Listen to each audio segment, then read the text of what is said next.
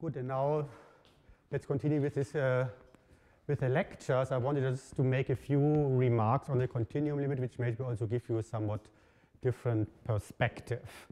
First of all, I wanted to kind of relate these equations involving Q, which Johannes showed us, put them into the context of the jet formalism of what we had yesterday. I mean, recall, I mean, yesterday we had this wave evaluation operator, and then the operator x, so our space-time point of the causal fermion system, could be, could be represented like this. Now, vector fields on F, so this means like first order variations of space-time points, uh, could then be realized by varying these wave evaluation operator. So it's what we call variations of physical wave functions. And then the first order variations of our vector field is just given by this formula. You just take a first order perturbation of this. And then you get a corresponding jet by setting the scalar component to zero. So this is like a jet like yesterday. and then our Euler-Lagrange equations, our weak Euler-Lagrange equations, they read like this. Maybe I should have said for all x in M. So these are equations like in our space-time. So they take this form here. Well, and now it's kind of a longer computation, and it, uh, but it turns out that this here holds.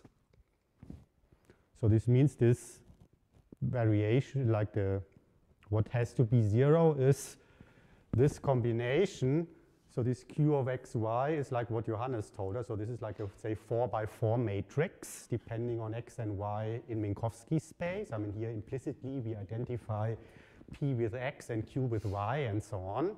So this is something defined in, in Minkowski space. So we multiply this by the wave evaluation operator. And then here on the left, this is the variation of the wave evaluation operator.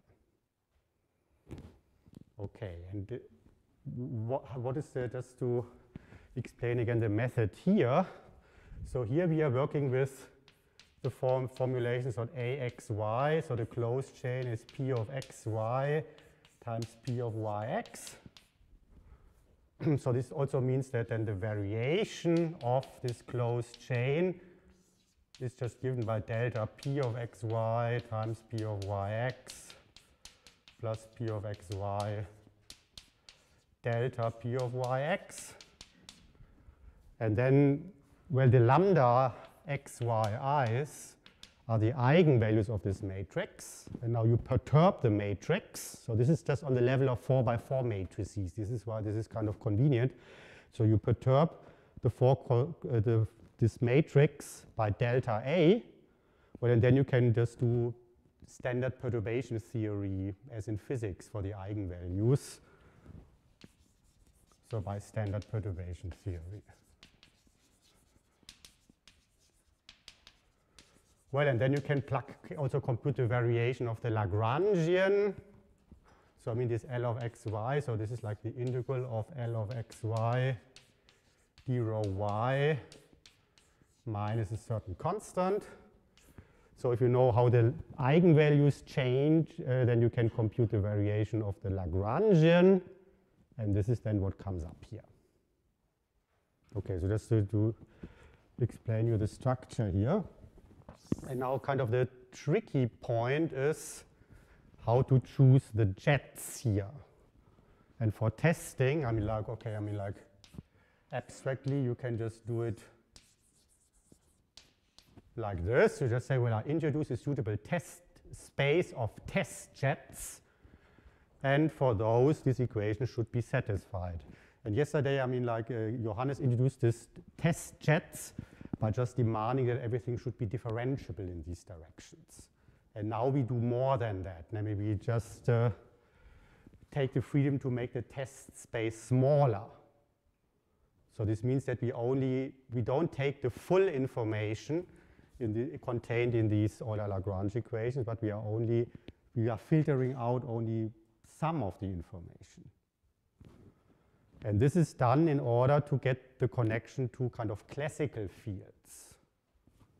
So I mean, like here the equations contain also information on what is the microscopic structure of space-time on the Planck scale and things like that. which at the moment we are not interested in. So we just want to know what happens on a macroscopic scale, and we want to therefore disregard a lot of stuff. And this is what uh, this, uh, therefore this is a, a very restrictive, very special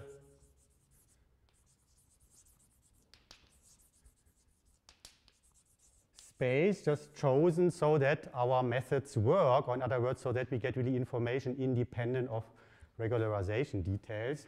And this is like what Johannes also mentioned with these ultraviolet, uh, these ultra-relativistic wave packets. So the way it works is like this. So we have, suppose we have here the point y, and then we look at this q of xy. And this q of xy is highly singular here on the light cone, and it really diverges as epsilon goes to 0. I can write something like 1 over epsilon to the 5 times something which maybe I can write it symbolically like this. So it has like a contribution only on the light cone. This is where the singularity takes place times something smooth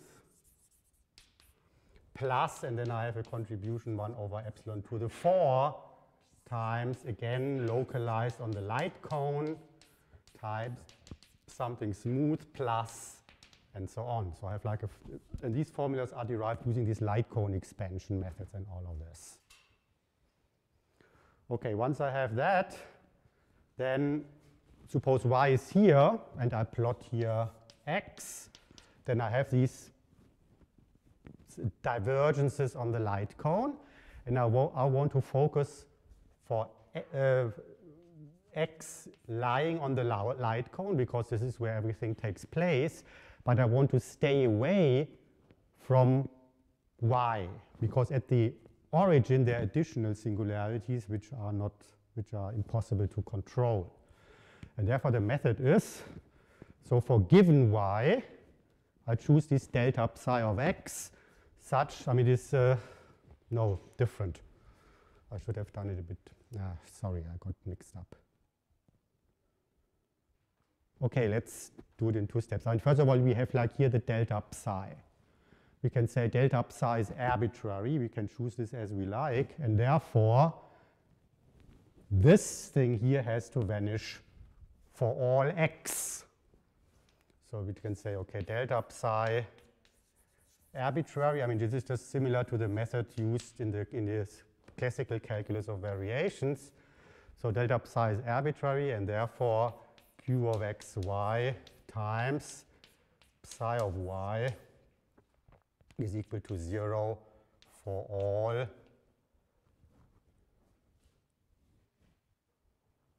no stupid. That is x is already fixed. Oh, sorry. Because I thought of explaining this just during the previous lecture. so delta psi is arbitrary. X is fixed, Y is okay. Fine, so, so we have something like the integral of, there's still an integral left here. So we have q of xy times psi of y is equal to 0. So this is basically what we get by saying, okay, delta psi is arbitrary. And now, um, this is an operator equation on the Hilbert space. Maybe I should write it like this. Is equal to 0 in principle for all u in the Hilbert space. But now I choose the test space such that this u here are only allow for specific u's. And now it's important to keep in mind that this is a solution of a Dirac equation. This is just like the physical wave function, psi u.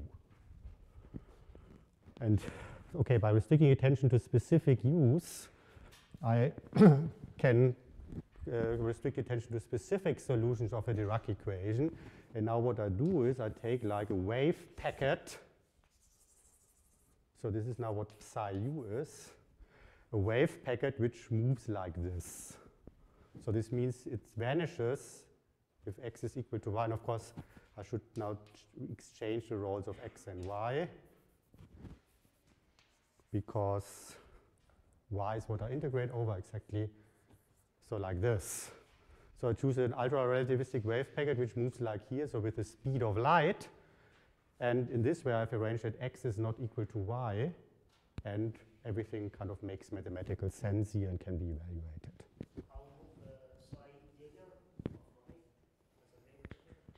Excuse me? You mean like here I have this delta psi. And this is kind of arbitrary. This is why it no longer appears here. But then what's left is really just the psi unperturbed. This is why I need to work with solutions of the Dirac equation. Yes. And of course, you can also do it the other way around. This is why there's the real part here. Of course, you have like in some sense you have this plus the conjugated guy.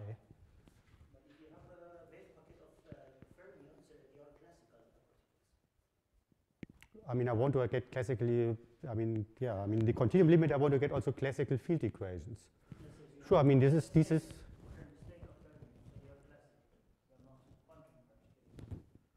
well, I mean, so these are solutions of the Dirac equation, sure. Yeah, I mean, these are, I mean, I have this Dirac sea structure, so the psi is formed of these solutions on the lower mass shell. Well, and then you take like solutions of kind of high frequency here. And out of those, you can form such a wave packet, which moves like this. Sure, I mean, they are all solutions of the Dirac equation.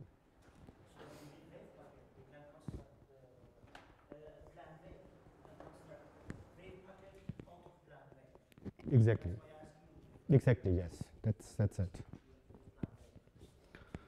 Okay, yes. Good. Now the next thing I wanted, to I mean, is this kind of clear, this procedure? Okay, now I wanted to explain a little bit, say a bit more on the results. And generally speaking, the strategies, what do we put in, what do we get out? I mean, since I'm asked this quite often, so always the input is, one has to specify what is the, how is the vacuum described? So the vacuum configuration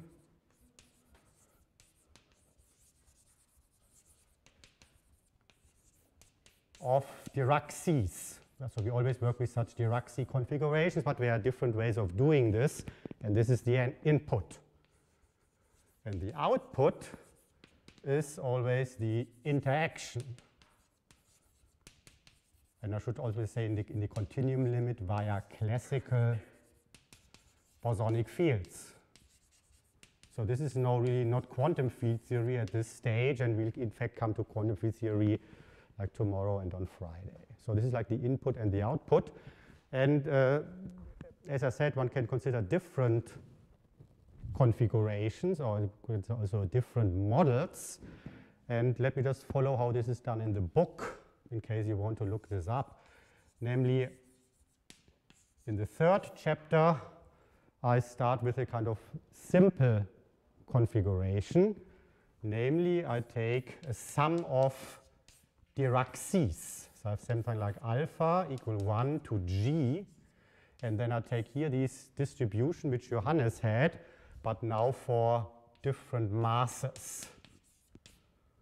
So the way what this describes is, so we have like g generations of particles, of Dirac particles, of masses m1 to mg. And then what the result is, is that the classical bosonic field, so one has like this interaction via an axial field, which means that this B has the form gamma 5 times A slash. And moreover, one sees that there as a dynamics, if and only if, if G is equal to 3, so one needs like three generations of particles, And by, by dynamics, I mean that, uh, first of all, there are solutions other than just the, the, the, vacuum configuration. And moreover, that the kind of initial value problem should be well posed. So this means there should be, the system should neither be over nor under determined. And this is what gives rise to these three generations. So therefore, this system describes a configuration where there are only three particles, for example, electron, muon, tau.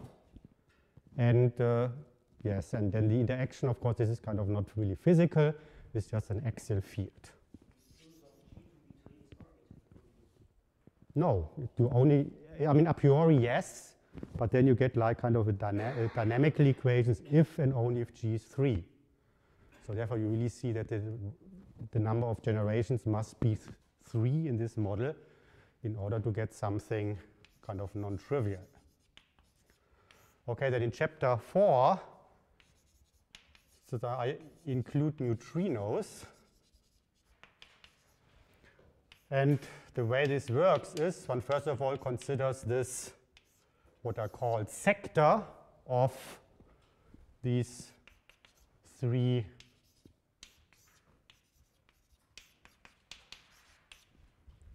Dirac seas as before, but now I take the direct sum of the sum uh, of another uh, of a sum of another three pm beta tilde of x comma y. So therefore, taking this direct sum, this is now not no longer 4 by 4, but an 8 uh, cross 8 matrix. And this means that the spin dimension is now equal to 4. So I mean here uh, n is equal to 2 because we have like these four dimension, four, four component Dirac spinors. Now we have kind of eight component spinners because of this direct sum. And this gives rise to spin dimension 4. Okay, and these here describe the neutrinos. And moreover, what I need to do also, I need to introduce the chiral asymmetry. So in other words, I need to break the left-right, the symmetry between left and right-handed neutrinos here. And this is done in a very general way.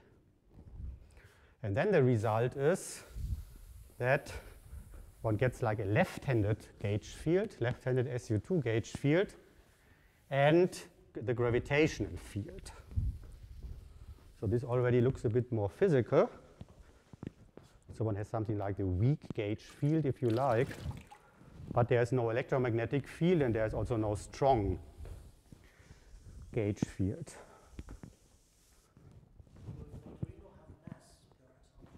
Excuse me? You can do both. You can do both. I mean, so these, these m tilde betas could be zero, but they can also be non-zero. And in fact, it turns out that in order for everything to work out, at least one of the neutrino generations should be massive. So it could be whatever, the electron neutrino is massless, but the muon neutrino has a mass. So this is sufficient. If they are all massless, then one gets problems at some point.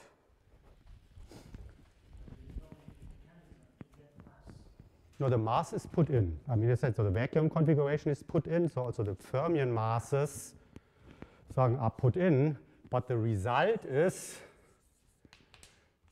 that one gets like a massive SU2 gauge field, which is left-handed. And the mass of the gauge fields, this comes out. Okay, and moreover, one gets like linearized gravity. But moreover, the whole approach is, is covariant. In other words, you can say one gets Einstein's equations up to possibly higher order corrections in curvature. So that is still open simply because well, the computations get kind of messy, so I didn't want to do its second order in curvature yet. so, okay, and then finally in chapter four, uh, sorry, chapter five, I took like the configuration, when I try to rep, uh, reproduce the uh, configuration of the standard model, and the way this is done, I take here a equal 1 to 7. I, I take 7, so as I call the mass uh, charged sector, so alpha equal 1 to g pm alpha of xy plus, and then there's again this neutrino sector as before. Okay, the masses here, they, they are all the same. So we just have three, three mass parameters here. I should here g is always 3. Already also here, I mean, we always restrict, once we know that it works only for three generations, I just restricted attention to three generations right away. Okay, so this is like, again, the ansatz for the vacuum. So one has like six mass parameters, three here and three here. And then it turns out that these seven direct sums, they uh, kind of form, well, one has kind of eight direct sums in total. So the spin dimension is now 16.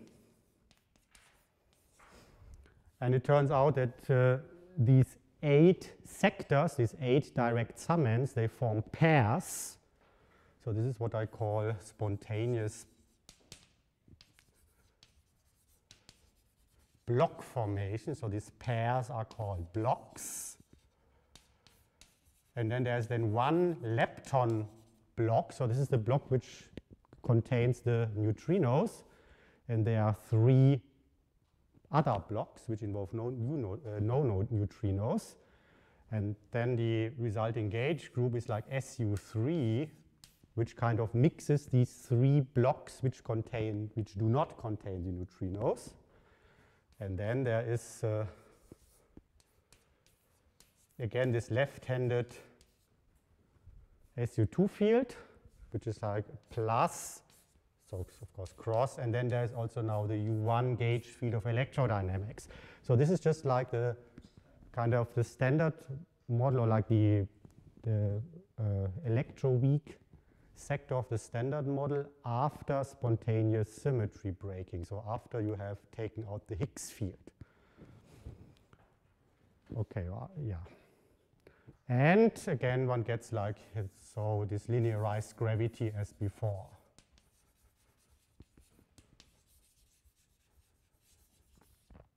And I should say, what about the Higgs? Well, the, what about the Higgs particle? Let me just write it like this. So these Higgs degrees of freedoms are there. So they correspond to kind of scalar potentials.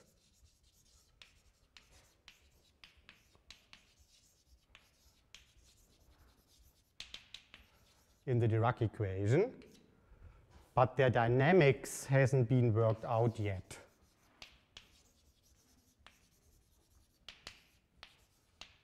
Okay, has uh, dynamics unclear at the moment, has not yet been worked out.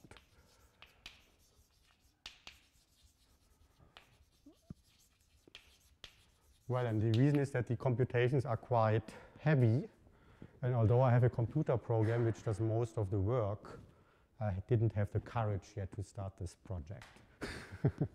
and also I think this is not a project I could give, like for example, to a PhD student. This is something I have to do just by myself because, uh, well, it is, it's kind of too messy for, for a young student. I mean, and of course the plan is to do this kind of in the next few years, but so far it's not clear what, uh, well, it's not clear if you get like a massive Higgs field, if this coincides with with the observations and so on. So this is all open at the moment.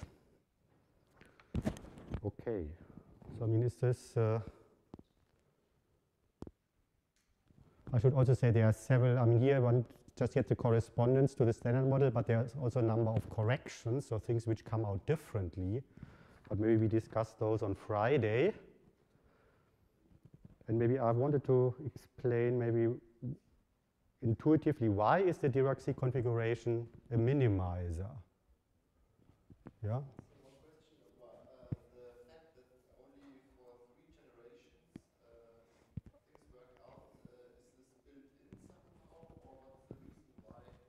I see, okay, good point, because I wanted to show this transparency again. then then uh, let me just explain this at this with this transparency. Let's be a bit more specific. How do you get, for example, Maxwell equations? How does this come up? And then, I mean, can you see it? Okay, first of all, I mean, maybe let me explain again what this, all these formulas here mean. So this P of xy in the vacuum is just a, describes the Dirac sea, like we did yesterday. Now we insert like a potential into the Dirac equation. So this means that all these sea particles, they now move in the external potential. For example, if you have a magnetic potential, they, all, they are all moving on circles. They are in these Landau levels. And as a consequence, this, the distribution here, which describes the, the Dirac sea, has a different form. It's no longer homogeneous and isotropic as it was before, but now you see here explicitly how it depends on the external potential. And I should say there are, first of all, there are contributions which are not listed here, namely one has, first of all, one has phase transformations, which can be understood from gauge invariance. But these phases, they drop out of the Euler-Lagrange equations. This is why we always have these combinations P of xy times P of yx because then if here we get a phase, here we get the complex conjugated phase, and then these phases drop out. And they are omitted here. So this is a so-called phase-free contributions. And therefore, the contribution which come up here are really kind of the gauge, involve gauge invariant quantities. So like here, like this is the uh, Maxwell current, if you like. So this is like the field strength tensor and so on. And here, these index up here tells us about the order of the singularity on the light cone. So you can say, so the main contribution, so the most singular contribution on the light cone is just the one from the, from the vacuum. And in fact, like here, I put a phase just for clarity. And all the other contributions here, they are of lower, have a lower singularity on the light cone. And now the important contribution is, first of all, here. Here you see that the Maxwell current comes up. In fact, like it turns out that these field strength tensors, they drop out, also this derivative term drops out, but this is also like a crucial term. Again, you have like here the Maxwell current. So there are terms involving the Maxwell current and they play the essential role. Now, if you want to have, for example, uh, uh, understand, well, how do you get the homogeneous Maxwell equations, then you would just say, well, we just have to set the current equal to zero. So we just get J equal to zero these are the homogeneous Maxwell equations. So that's easy. Now, the, what is a bit more tricky is how do you get the connection to the Dirac current? I mean, this is like what you want, maybe with some constant here. Well, in the Dirac, well, indeed, here on the right, this Dirac current, this is something smooth. So therefore, it has no singularity. And therefore, one also has to compute all these smooth contributions. I mean, they are not listed here. They are contained here in the, all these error terms but still they have to be computed. I mean, this is only a well, small part of what has to be done. So one also has to look at these smooth contributions. And then suppose here you have a smooth contribution, it's multiplied by something which is singular on the light cone. So in the end, it also affects like these singular contributions to Q. In other words, also the smooth contributions involve, I see I erased this, like this Q of xy, which had some, say we have like this Q of xy, and then we have like a contribution 1 over epsilon to the 5 times something plus 1 over epsilon to the 4 something. And then here you get also something which involves the Dirac current. Because like say this is smooth, but it's multiplied by something non-smooth, and then you compute the eigenvalues and so on, and then you get something which is again like here singular. Okay. And now, okay, let me just finish this. Uh, so, okay, so here we have like a smooth contribution. But the contribution here involving the Maxwell current is in fact not smooth. It involves here this factor T1. And this T1 involves like a logarithmic singularity. So here we have like a logarithmic, an additional logarithmic divergence. So therefore these terms do not match. So then the question is how to get rid of this logarithmic divergence. And this is precisely where we need these three generations for.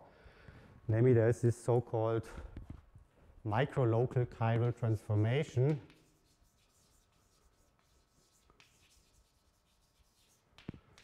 which in fact took me quite a long time to figure out that this is really like the way to do it. And the, uh, what one does is one changes the, all the wave functions, but they are no longer solutions of the Dirac equation. So in other words, one gives up the Dirac equation, modifies all these wave functions, and this generates contributions ag again to P of xy. And they can compensate this logarithmic pole, which comes up here.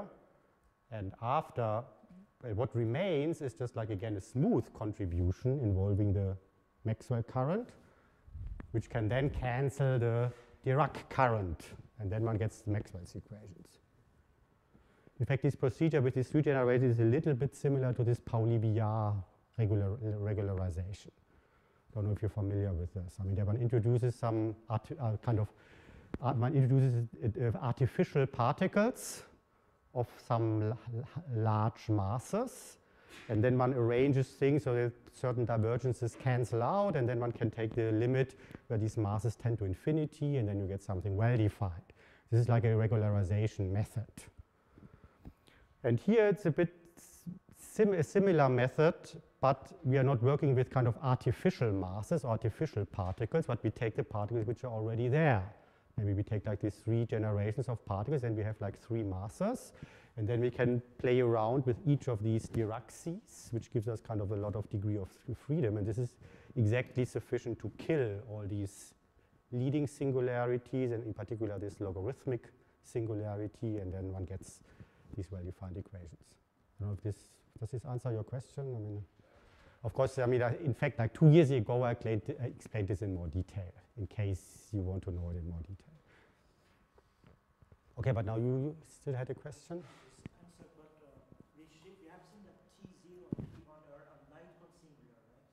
Ah, yes. Exactly.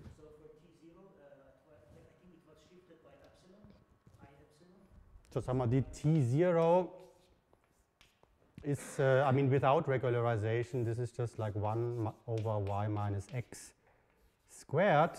And then there's some plus i epsilon, whatever. And then, so you can think of it like this.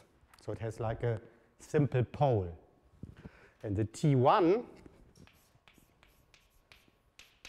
this is just like the logarithm of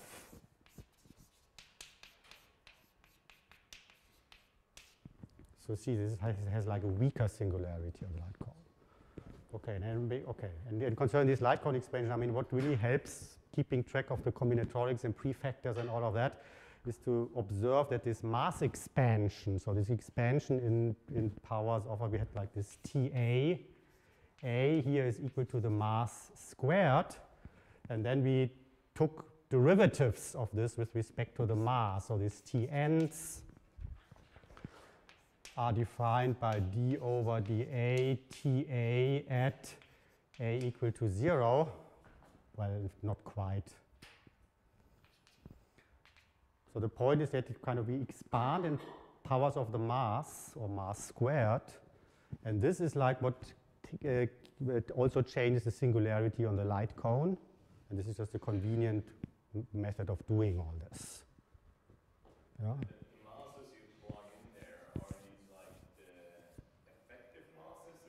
A good point. Of course, I should have mentioned it. So these are kind of the naked masses on the regularization scale, like on the scale epsilon.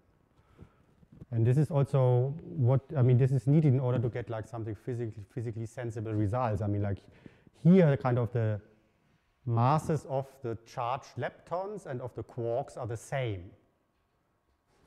And of course, like due to the self-interaction and so on, I mean, the, the effective masses will be different as it should be. So the quarks are much heavier than the charged leptons.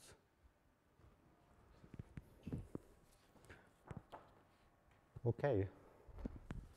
I mean, should be now, is, is this a good point to stop this with this continuum limit? Or is there something else you would like to know?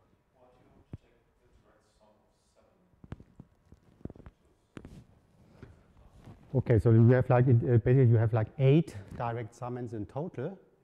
So therefore, if you, if you form pairs, you get like four pairs. That's put in by hand. So this, yeah, so this is put in by hand and then you have like four blocks. I mean, I can also like maybe like drew it like this. So one has like here, these are always the, the pairs. I have like three pairs which involve in the, so I have like, these are just these eight, eight direct summands, just plotted like this. And at one point, say here, this is where the neutrinos are. There must be somewhere, so let's just put them here. Okay, and then we have like here three identical blocks. And then the SU3 acts here. So it mixes these three blocks. The SU2 acts here. So this is so-called, if you like, this is isos. These are the two isospin components. These are the color components. And then you see by, by just putting in this number 8, it just gives, well, the, the dimensions are right. So if I had taken whatever 10 direct summands, then I would probably just have gotten here SU4.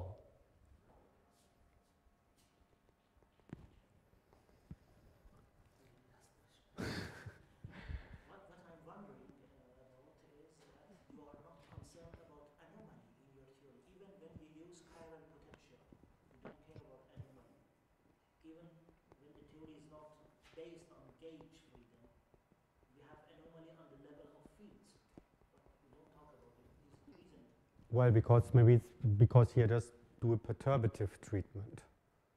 So I mean, I don't really construct whatever soliton solutions or things like that. Does this answer your question? Um, maybe let's discuss this during the hike this afternoon. mm -hmm.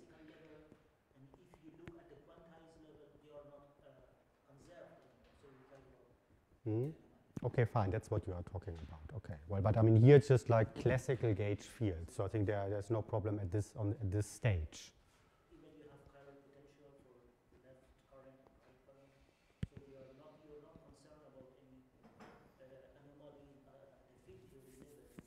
Well, field theory level comes, say, tomorrow on Friday. Let's discuss it then.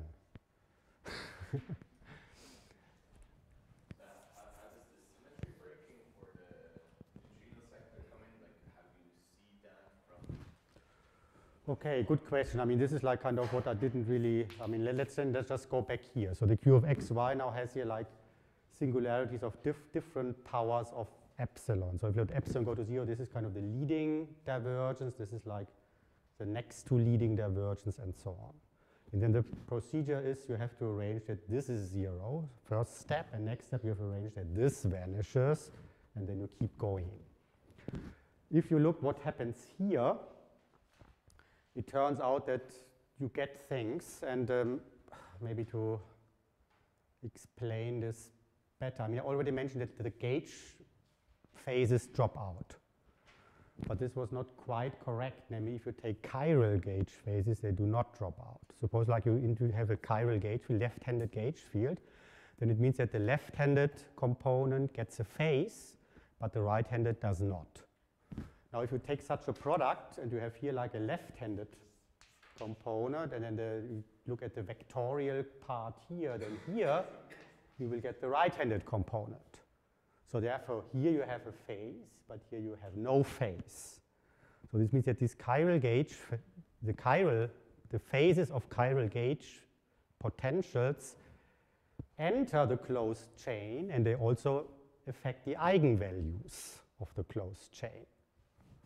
Now, in order to set this, to make this equal to zero, essentially we have to arrange that the eigenvalues all have the same absolute value because then the Lagrangian vanishes. Okay, and then we have like, we get of phase shifts here and here and here and here. So the eigenvalues are multiplied by, and, and, the, uh, and well, in fact, not only phases, you also get contributions higher order in the mass where you, it's not just a phase. So you get contributions everywhere, and these contributions need to cancel. And this essentially means that the same must happen here as here and here and here, because then these contributions all drop out. So just to keep it simple, I mean, by looking at this leading singularity here, you get conditions on the admissible gauge potentials. But, but then in the neutrinos you only have one species, you only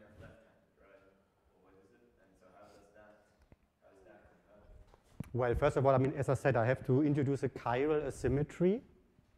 So this means here I have a left-right-handed asymmetry. So this means this is like left and right-handed. This is not symmetric with the left and right-handed component, but here it is.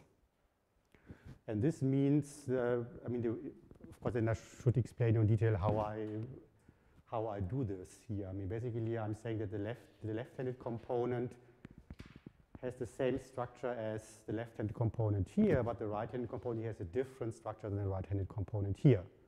And this is what makes it impossible to get a gauge field which mixes the right-handed component of the neutrinos with the right-handed component of the charged leptons. And then, in other words, here you are only allowed to take a left-handed SU2. And then since in order for all these eigenvalues, basically these differences of eigenvalues to vanish, you are also not allowed to have a right-handed potential here and here and here. In fact, then the details are not so easy, I mean, of course. Yeah, but, but that, that was more or less the question. How, how do you introduce it? So this is also something you plug into the system. Exactly. So the yes. So this chiral asymmetry is put in Okay. because this is part of the vacuum configuration. How, how you put it in. Okay. That is put in, the number seven is put, or eight is put in.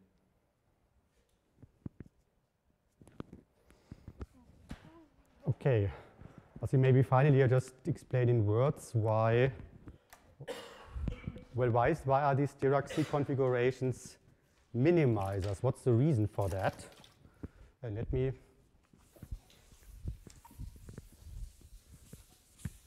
let me just show you this intuitive picture. And also this is related to what we what I showed you on Monday, namely this connection to the causal structure. So what we had on Monday is I showed you like this said, okay, this is now here Minkowski space. Suppose we fix P as we called it then, and now here we plot Q. Then, as a result of the regularization, so there was like, there's a certain layer here of the size epsilon where we don't know what happens. But if we stay away from there, so if we take a point Q, which is like space-like separated or time-like separated, and, and we are not close to the light cone, then we just get the usual causal structure back. So here we have space-like separation, here we have time-like separation. And all the singularities of Q, they are on the light cone, so they are precisely where we don't know at the moment what's happening. So therefore we have to analyze what happens here. And now it turns out that as a consequence of the regularization, one gets here bilinear contributions to the closed chain. Well, you can think of it like this, the p epsilon. So you get a contribution to p epsilon, which involves gamma zero. And then if you look at the closed chain, then you get like bilinear terms, like a commutator of gamma zero with gamma one, two, and three. And it turns out that these bilinear contributions, they give rise to complex conjugate pairs. So like the bilinear contribution over here,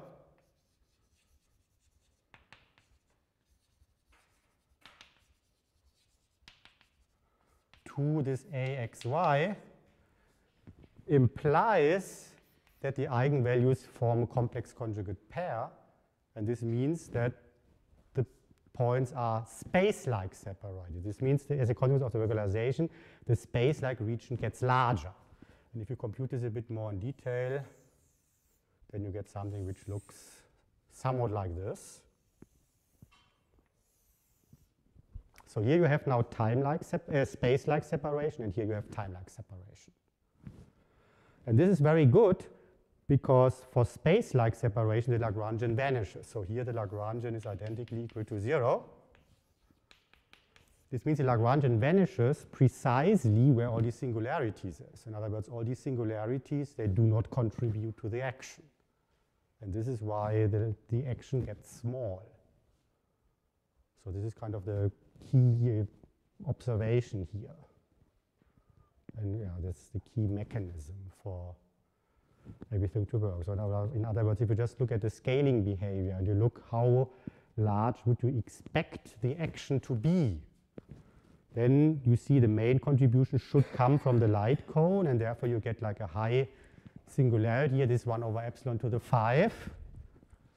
But as a consequence of the structure of the, I mean, the way the causal structure is arranged here, all these singular terms are zero. And in the continuum of this, formula, uh, this formalism of the continuum limit, it turns out that L is identically equal to zero everywhere because these contributions here are so small that they are not taken into account anyway.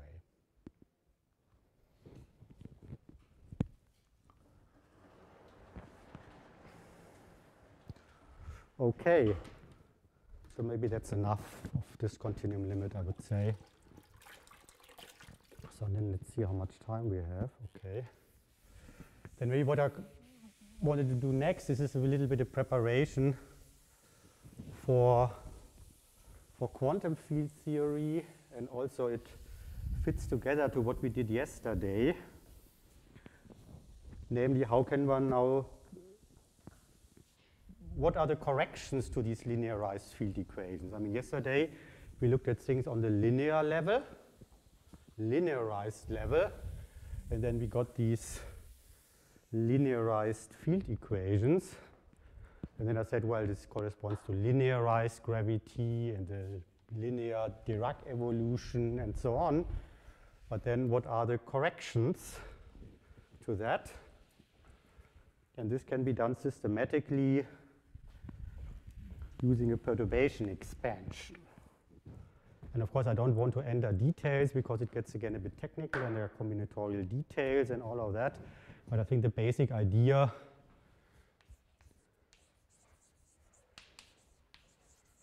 is quite simple.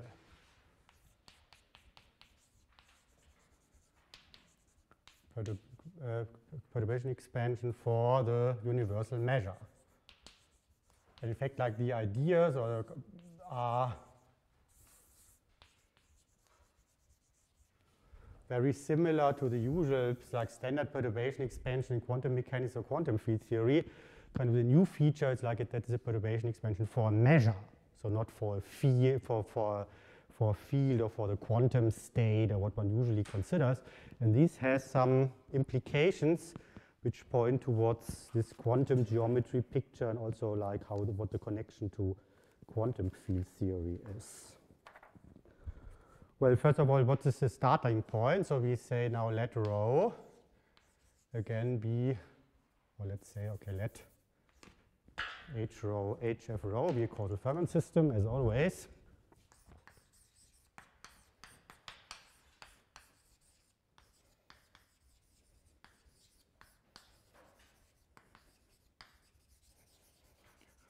And we assume that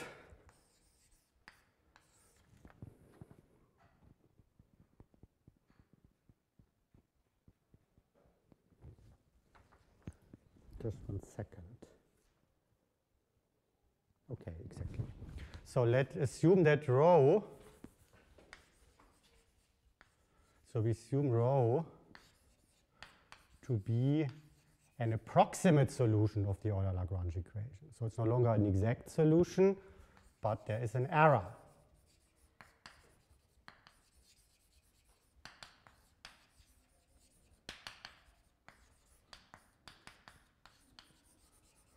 So this means we can write it so nabla u of L. So let's just write this down in detail. So again, so this is the integral over m L of x y d rho y minus nu over 2. This is now not equal to 0, but it's equal to a small error term, which is denoted by see where are my glasses, by the way.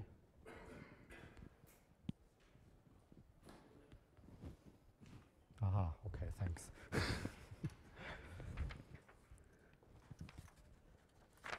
yeah, exactly.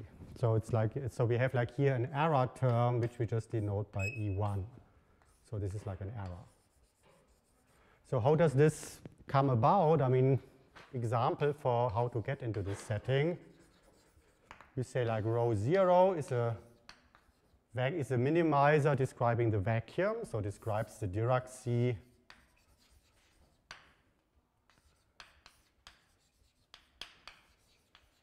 vacuum. So this is like a given minimizer.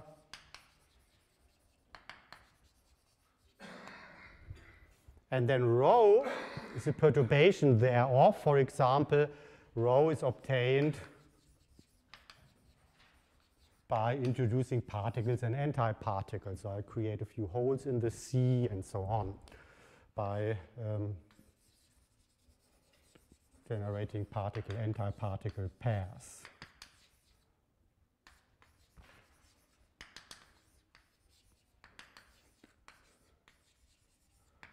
Well, and then as a consequence of these particle-antiparticle pairs, it's no longer solution of the Euler-Lagrange equations, but there's some error. But this error is small. Okay, we don't really know how small, but by small, we simply mean that we insert here a parameter lambda, and lambda is small. So the error small means just simply, but as, this is as is always done in physics, means that lambda is small. I mean, doing it more mathematically, one should say, well, this is a family of error terms parameterized by lambda, and then we want to get a solution for every lambda, and then we can form a perturbation expansion, a power series in lambda. But I'm here do it more like physicists do it. I have here a small error, and now I want to goal find a new measure rho tilde perturbatively such that the Euler-Lagrange equations or the weak Euler-Lagrange equations are satisfied.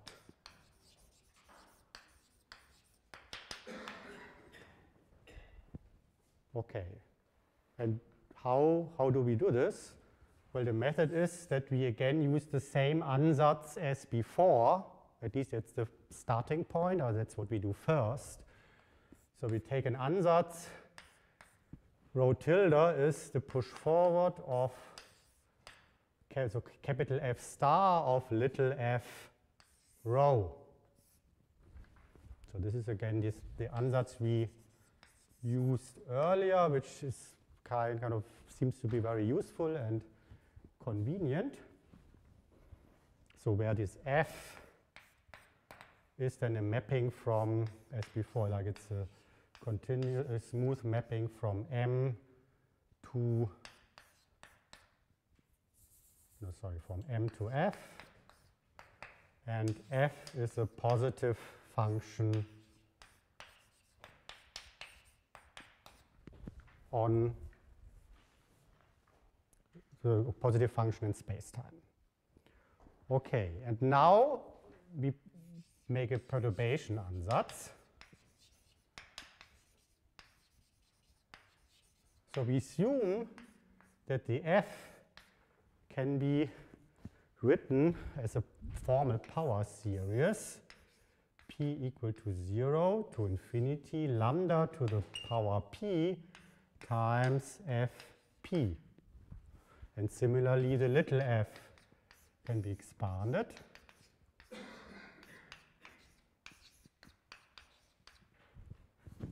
And I also assume that if lambda is equal to 0, I do not transform the measure because then I don't need to, I have no error.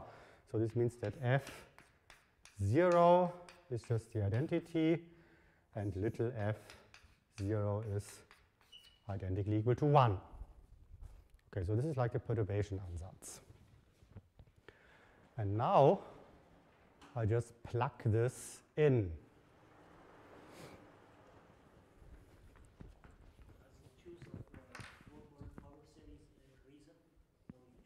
Well, just as in physics, so it's uh, then one gets reasonable equations, or basically order by order, one can solve this. But we don't know if this, I mean, we don't care about uh, convergence of this expansion.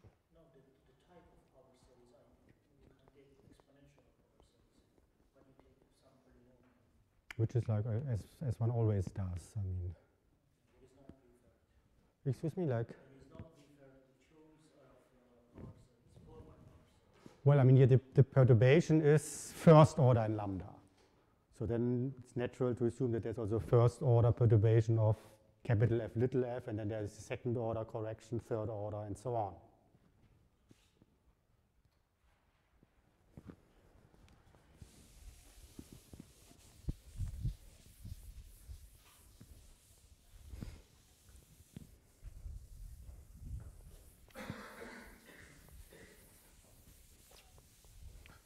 Okay, now then the first step is to write down the Euler-Lagrange equations for the perturbed measure.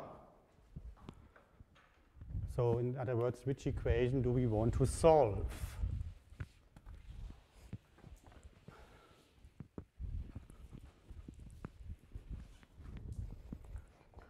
So we want the Euler-Lagrange equations for tilde rho, and they can be written as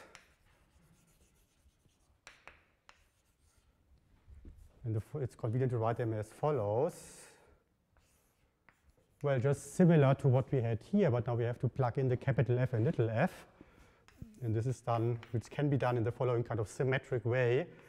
Little f of x, f of capital F of x, capital F of y, little f of y, d rho y, minus little f of x times mu over 2 is equal to 0. Okay, in fact, there are some computations, some, you need to do some transformations in order to write the equation in this form, but let's not worry about this. So this is the equation we want to have. And now, so I'm plug in the power expansion.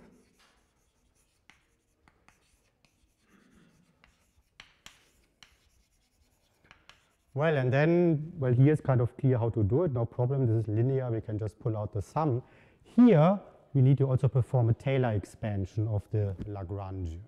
So we assume that everything is smooth and so on. So power expansion, then we take like a Taylor expansion of L. And then what do, and then we look at this order by order. And then uh, look at order by order in powers of lambda. So in p lambda to the power p. And then what does one get to the pth order? And of course, I don't want to write it out in detail because it's quite a mess. But let, us just see what, uh, I mean, what, what's the crucial point? To pth order, so there are contributions which come up linearly, namely if you have a power lambda to the p, then the f, capital Fp and the little fp, they come up linearly. And of course, all the other guys come up higher order and so on. But on the other hand, all the, the other, the, the capital F and little f for smaller upper indices, so for lower order, they are already known because we want to proceed inductively. So the goal is to determine capital Fp and little fp. Pth order, so goal, determine capital Fp and little fp. And then they come up only linearly, and this also means that here we only get first derivatives. Turns out what you get is nabla u integral m. And then the multiplication here and derivative here can be combined as follows. We write here Vp, v acting on x, plus v to the p acting on the second argument times L of xy minus nabla 1 comma v p acting on this nu over 2. And this is equal to, well, a lot of terms, but again, we just write this symbolically as EP, some error. So this is the equation we get, and I should say that this VP, this is just a shorthand notation for little fp and capital FP. Well, yeah, not quite, I'm simplifying this a little bit. Okay, so now this is like the equation we get. Well, and then it turns out, well, this is like just, it just looks, the left side just looks like the linearized field equations. And on the right side, we have something which is known like an inhomogeneity. Well, and this is just like the usual structure one has in a perturbation expansion. So now the goal is, can we kind of invert this? So is there kind of an inverse of this? And it turns out that it is reasonable to assume that there is one. And in fact, we right now we are also proving that, I mean, develop existence theory for these Green's operators. But let's, let's just explain what a Green's operator is. Maybe just like a nicer notation, which is nicer simply because it looks more familiar. Namely, we call this combination here just Laplace V, Laplace Vp. And this nabla here, we just write it as U nabla Vp. And this is equal to EP. Let me see, I think there should also be, yeah, I should have written it like this, sorry. Of course, there must also be a testing on the right side going on. So we can write it like this. So we can write it like this.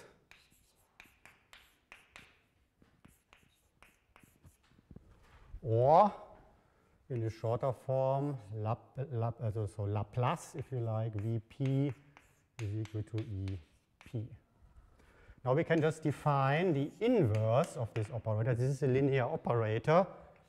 So more precisely, this Laplace maps a certain test space, which in fact denoted by J1 to J test star, whatever the dual is, is kind of the, because this is kind of the dual of the test jets. Doesn't really matter, so like it goes from a certain space to another space. And then we just define S as a mapping which goes the other way around.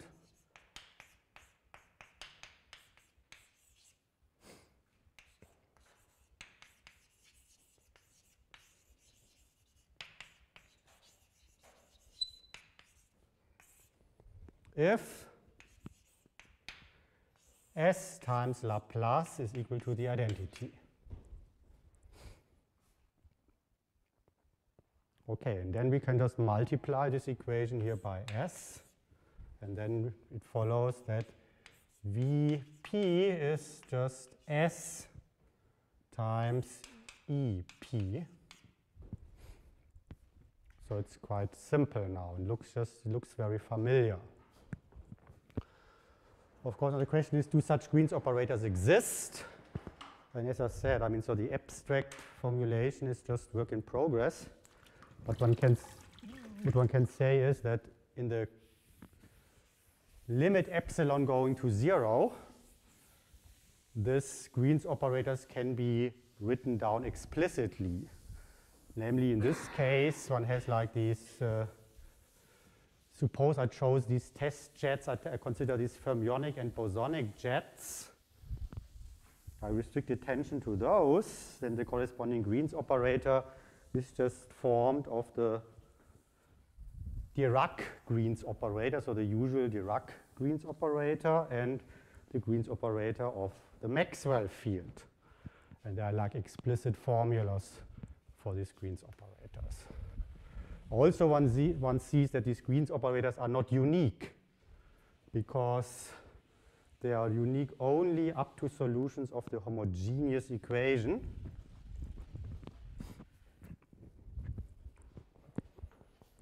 Let me just note this. So like uh, in the continuum limit,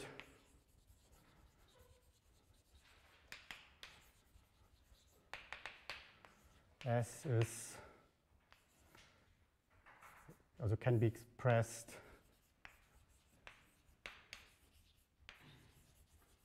explicitly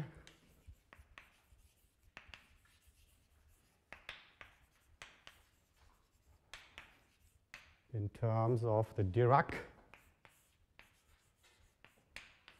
and say Maxwell, suppose we consider Maxwell field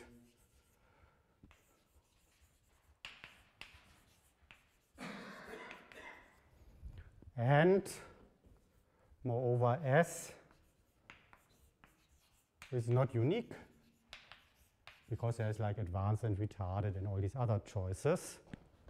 Let me just make sure that what I wrote is correct. I must see. Green's operators always get mixed up. Laplace S, V S. Oh, I see. I made a mistake here, which is not so cruel. Well, the, everything is a bit simplified anyway. It turns out that it's better to define the Green's operator in this way. Which of course, I mean, if, if these operators are invertible, it makes no difference. But if they are not invertible, so if this delta nabla here has a kernel, and it has a kernel since there are all these linearized field solutions, it's better to write it like this. And then you see that S is only determined up to homogeneous solutions or solutions of linearized field equations because they vanish if you act with the de delta operator or not. Okay, so this is like the, how the perturbation expansion works, and then the rest is kind of combinatorial details, and one can, can play around in order to make the formula simpler and so on.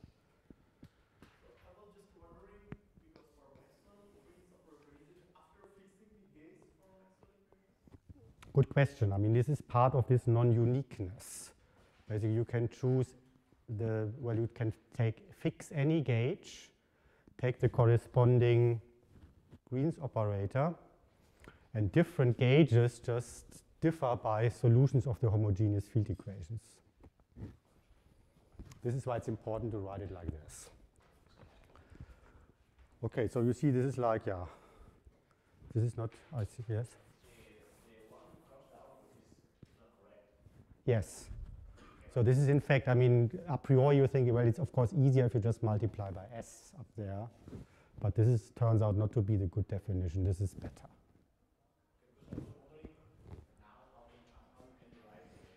You mean this is equal, okay, you just plug it in. So this is like a possible choice. Let's write it like this.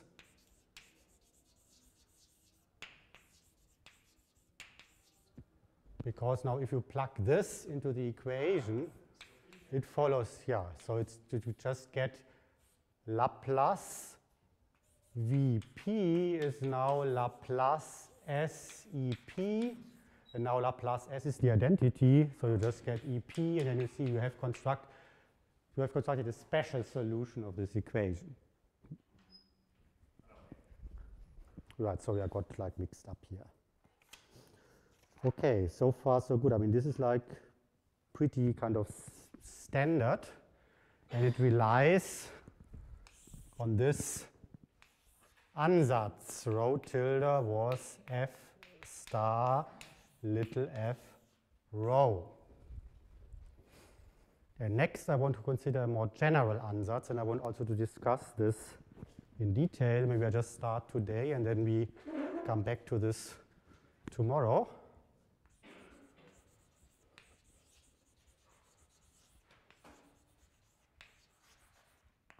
And this is where it really, well, it comes into play that we are having measures here. Namely, if you take like linear, say, or if you take convex combinations of measures, we get a new measure. So therefore, what we can do is, so we choose a whole family f little f a, capital F a, a runs from 1 to L, and set. Rho tilde is equal to, now we can take this FA star of FA rho, and then we just take the convex.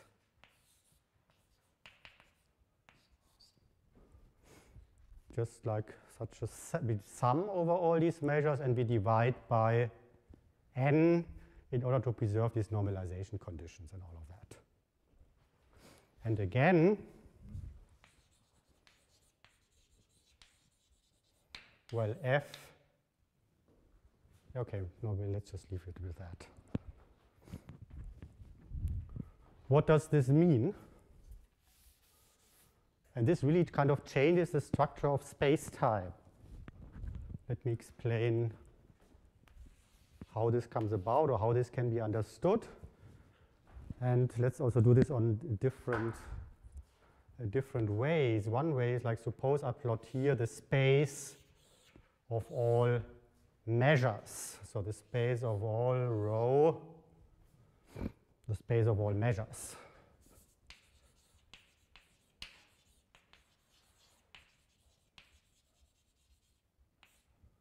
Okay, so then we have here our measure rho. And before, we just got one new measure out of it, which was described by this little f, capital F, and then we get a measure which is here. This was previously. But now we have several of these guys, so we have like a part which moves here, part which moves here, and so on. So we have here little f1, capital F1, F2, capital F2, and so on. So the resulting measure has like kind of a different structure. And this is called like kind of fragmentation. Well, I just wanted to give this kind of a catchy name.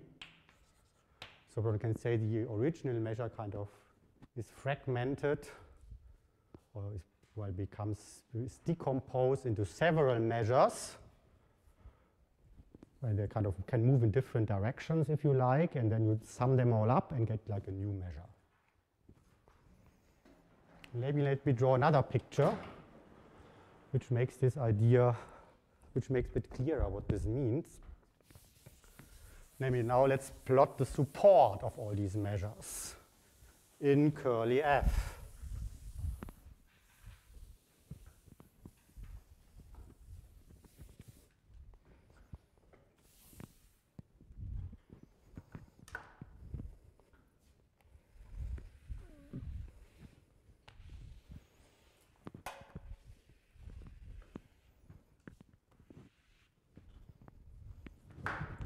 so we again plot here, this is again our curly f here.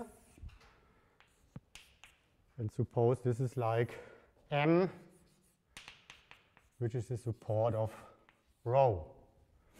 Now we vary the measure, and the way we also like did this on, when was it, Monday or Tuesday, that we say, okay, we have here our capital F, and then our support is shifted somewhere else.